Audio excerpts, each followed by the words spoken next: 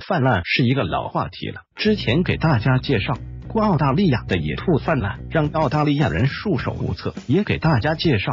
过美国的欧苗鸟泛滥，气得美国人牙根疼；还有日本的野猪泛滥，直接影响到了人类的出行安全。而近日印度的动物也泛滥了，而泛滥成灾的动物变成了猴子。据悉，近日数百只猴子在印度的首都新德里泛滥成灾，这些猴子大肆的走上街头，抢夺人们手中的食物，甚至一些猴子翻墙而过，进入居民的家里偷走当地人的美食，恐吓小孩，令当地人十分头疼。很多人都。表示要整治这些猴子，因为他们简直是太无法无天了。印度内政部的一位官员抱怨着表示，近几年新德里地区的猴子繁殖的速度很快，目前还不清楚具体数量有多少。但是猴子的泛滥成灾，已经影响到了他们的正常生活和工作。这些小猴子由于身体相当灵活，还经常来到政府大楼里胡闹，有时候偷偷进入餐厅偷食，有时候在各个房间窜来窜去，进入办公室毁坏了。很多办公文件，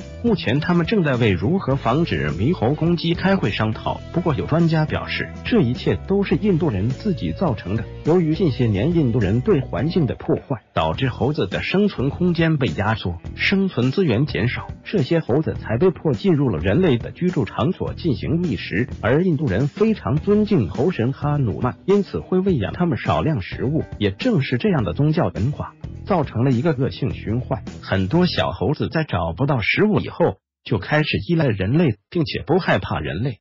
而一旦没有食物来源了，它们便会变得十分有攻击性，四处搞破坏。一些印度的动物专家纷纷建议给猴子做绝育，降低它们的数量。还有一些生物学家觉得猴子这么多，应该多抓猴子用于医学研究试验。面对印度专家的这种想法，你怎么看？欢迎大家互动分享版权声明，如涉及版权问题，请作者持权属证明与本网联系。